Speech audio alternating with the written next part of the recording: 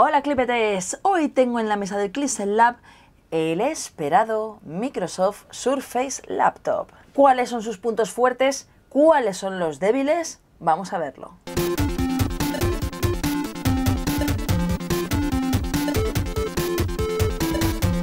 Dispositivo de Microsoft, concretamente un nuevo Surface, llega al Clissen Lab.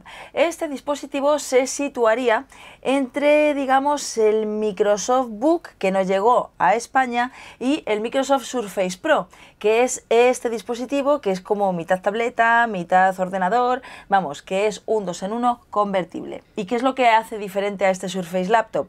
Pues precisamente eso, la denominación de laptop, el hecho de que es un ordenador, un Ultrabook que tiene diseño de ordenador de portátil de toda la vida. Pero a diferencia de sus hermanos, toda la inteligencia, la placa base, el procesador y todo lo demás lo tiene justo en esta zona de aquí, en la zona del teclado. Es decir, que la pantalla es pantalla, por cierto, súper fina y todo lo demás está aquí. ¿Y qué es lo que puede tener por dentro? Bueno, pues podría tener desde un procesador Intel i5 hasta un procesador Intel i7, desde 4 GB de RAM hasta 16 GB de RAM y desde 128 GB de almacenamiento hasta 512 GB de almacenamiento.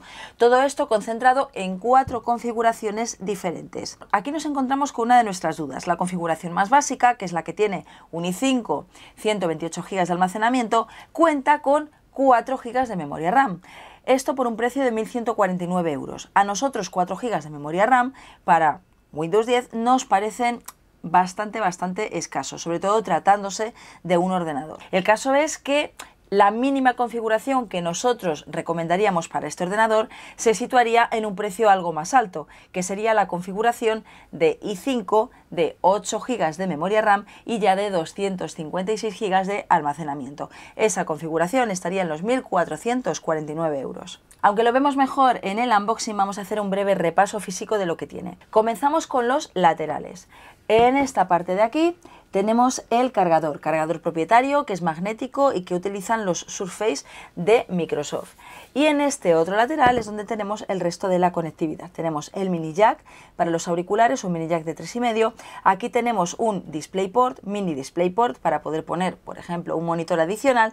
Y en esta zona de aquí tenemos un USB 3.0. ¿Y qué pasa con el estándar USB tipo C que ahora es el que se está integrando en prácticamente todos los equipos?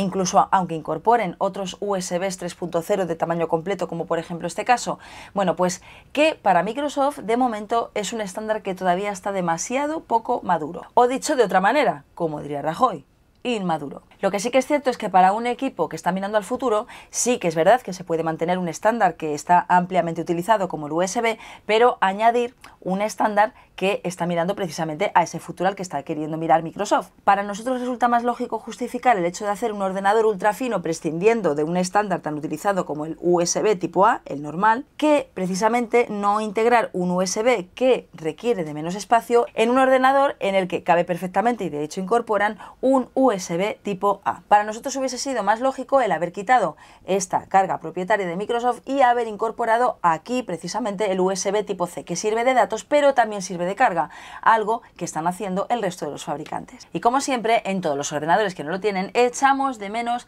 la ranura para las tarjetas SD o micro SD en su caso, como por ejemplo sí que tiene el Surface Pro. Si dejamos de lado la conectividad y hablamos exclusivamente de la construcción y el diseño, cuenta con un diseño impecable, en aluminio súper bonito, ligero, 1250 gramos y al que la verdad poca pega se le puede poner, incluso poca pega al sistema de apertura. Con un solo dedo prometen y realmente cumplen que se pueda abrir este Surface Laptop. Quizás la parte de dentro sea la más llamativa. ¿Por qué? Pues porque tiene un tejido alcántara que cubre toda la zona del teclado y del trackpad. Este acabado interior en tejido alcántara tiene sus pros y sus contras. Sus pros es que es suave, es muy agradable al tacto y es bastante cómodo a la hora de pasarte tiempo escribiendo.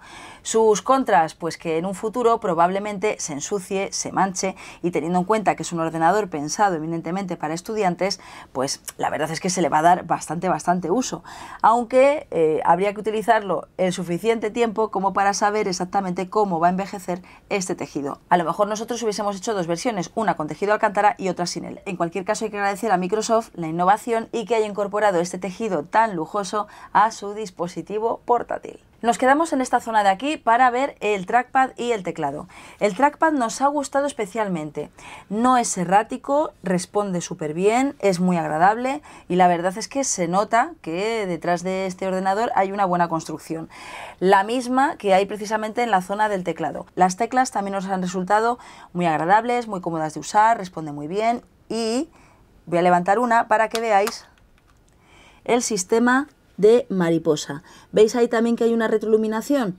Bueno, pues esa es la retroiluminación que hace que el teclado podamos utilizarlo cuando no tengamos luz o incluso con luz, vamos, cuando nos dé la gana. El caso es que esta construcción de teclado tampoco está hecha así de manera aleatoria, sino que también está pensada para que a través del teclado pueda salir el sonido.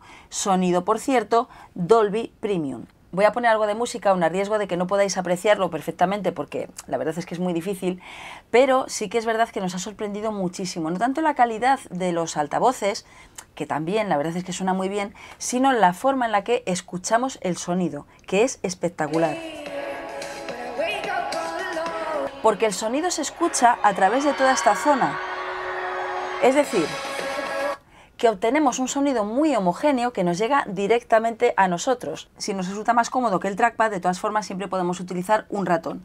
Para nosotros uno de los mejores, de hecho independientemente de que lo utilicemos con un producto Microsoft o no, es este, el Microsoft Arc Mouse, que es un ratón que activamos doblándolo. Es muy cómodo, sobre todo para personas que tienen que utilizar el ordenador fuera de casa porque ocupa muy poquito espacio. Otro de los puntos fuertes y que entronca precisamente con la construcción de este equipo es la pantalla, una pantalla de 13,5 pulgadas y una resolución de 2256 x 1504 píxeles, lo que da una densidad de píxeles de 201.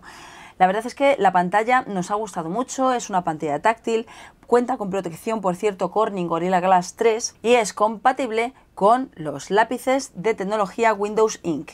Este no es el lápiz para Surface, este es el lápiz que os enseñamos en el ordenador HP X360 el Spectre. Pero como son compatibles, porque utilizan la misma tecnología, pues nos sirve para que podamos hacer la prueba. Pues por ejemplo, abrimos las notas, y aquí podemos escribir lo que queramos utilizando los botones para borrar. En cualquier caso, el lápiz de Microsoft, el lápiz para Surface, tiene un precio de 110 euros. Si nos vamos a la parte de arriba de la pantalla, nos encontramos con una cámara, una cámara de resolución HD 720p. Pero también, aunque no se vea muy bien, también tenemos la tecnología infrarroja y de cámara que vamos a utilizar para usar Windows Hello, el sistema de reconocimiento de seguridad biométrico de Windows. En este caso, Windows Hello se utiliza con reconocimiento facial. Por eso tiene toda esa tecnología en la parte de arriba, para poder desbloquear el ordenador simplemente viendo nuestro careto. Y si os estáis preguntando si este tipo de tecnología se puede saltar con una fotografía, pues deciros que no. ¿Por qué? Porque la tecnología infrarroja que os comentaba antes sirve para diferenciar precisamente una fotografía de una cara. Y ahora vamos con quizás la parte más polémica de este ordenador y es su sistema operativo que podríais pensar, bueno, ¿qué tiene de polémico Windows 10? Vale, pues Windows 10 en sí, nada. Windows 10S es otra cosa, porque Windows 10S es una versión reducida y securizada del sistema operativo de Windows. ¿Qué quiero decir con esto? Bueno, pues lo que quiero decir es que es un sistema operativo en el que solo se pueden instalar las aplicaciones que previamente Windows haya aprobado y haya puesto en su tienda oficial. Con esto eliminamos cualquier tipo de programa, cualquier tipo de aplicación que queramos descargar vía web. Esto incluiría gran parte del malware, es decir, que como no pasaría el filtro de la tienda no podríamos instalarlo de una manera ni de otra. Ojo, no todo, pero bueno, gran parte se podría evitar. Pero también incluye otro tipo de aplicaciones o programas que son completamente inofensivos, como por ejemplo un navegador. Si queremos utilizar, en vez del navegador Edge de Microsoft, queremos utilizar Chrome, pues nos lo tendríamos que descargar porque en la tienda no está, le daríamos a instalar y nos diría, por cuestiones de seguridad y rendimiento, Windows 10S solo ejecuta aplicaciones comprobadas de la tienda. Obtener aplicaciones de la tienda. Y entonces aquí nos encontraríamos con aplicaciones que nos sugiere y que francamente no tienen mucho que ver con la que yo me quería instalar. Pero como veis tenemos otra opción. ¿Aún quieres instalar aplicaciones desde fuera de la tienda? Ver cómo. Y este ver cómo significa actualizar a Windows 10 Pro. Una ventaja que es una ventaja hasta el 31 de diciembre. Es decir, que nosotros podemos actualizar a Windows 10 Pro de manera gratuita hasta el 31 de diciembre. Y entonces tendremos el sistema operativo completo, sin necesidad de pagar absolutamente nada más. ¿Qué sucede a partir de enero? En los ordenadores que se han comprado incluso a partir de enero no lo sabemos. Tampoco sabemos cuánto va a costar la actualización, porque de momento Microsoft no ha dado esos datos. Así que si compráis a día de hoy un Surface Laptop, prácticamente nos veremos obligados a actualizar al sistema operativo Windows 10 Pro. ¿Por qué? Pues porque en la tienda todavía no hay las suficientes aplicaciones para que cubran todas nuestras necesidades, incluidas aplicaciones y programas pensados precisamente para estudiantes, es decir, el perfil para el que está pensado este ordenador, como pueden ser aplicaciones como AutoCAD o Photoshop. Hay versiones reducidas, pero no están las completas que podrían utilizar precisamente este tipo de usuarios. Otra de las características que nos encontramos en esta versión reducida del sistema operativo es el navegador Edge, que solo permite realizar búsquedas mediante Bing.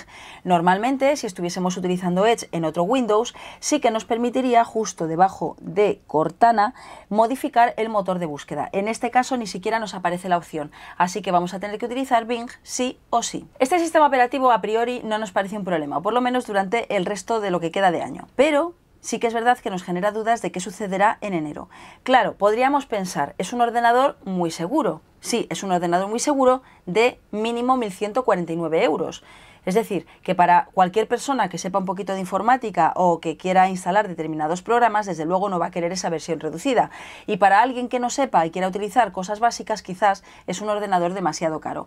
Así que, sin duda alguna, nuestra recomendación es actualizar lo antes posible al sistema operativo Windows 10 Pro. Otro de los puntos fuertes de este ordenador es la batería. Tiene una autonomía de 14,5 horas, o por lo menos esas son la autonomía que promete Microsoft en condiciones de laboratorio cuando estamos viendo única y exclusivamente vídeos sin conectividad inalámbrica. ¿Qué sucede cuando estamos utilizando conectividad inalámbrica lo utilizamos para otras tareas? Pues que la autonomía obviamente se ve reducida.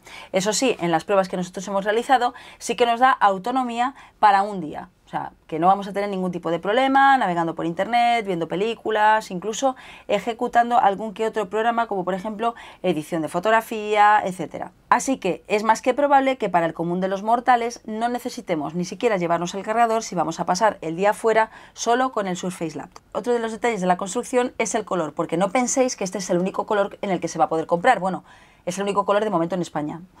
Pero en otros países se va a poder encontrar en este color platino, también en oro grafito, en color burdeos y en azul cobalto, que a mí me parece precioso. En conclusión, ¿qué nos encontramos con este Surface Laptop? Pues tenemos un ordenador con unos acabados exquisitos, súper bien construido, con un diseño súper bonito, ligero y demás. Ofrece muy buen rendimiento adecuado precisamente a los componentes de cada una de las opciones que podemos comprar. Pero eso sí, cada una de esas opciones quizás están un poco por encima de precio que otros ordenadores de otros fabricantes que incorporan por el mismo precio un poquito más. Así que por su sonido, por su pantalla y por supuesto por su construcción y diseño, este Microsoft Surface Laptop se ha ganado nuestro sello clipete. ¡Ay, que se me olvidaba! El precio, desde 1.149 euros hasta los 2.499 euros, 512 GB de almacenamiento, 16 GB de RAM e Intel Core i7. Nos vemos en el siguiente videorama.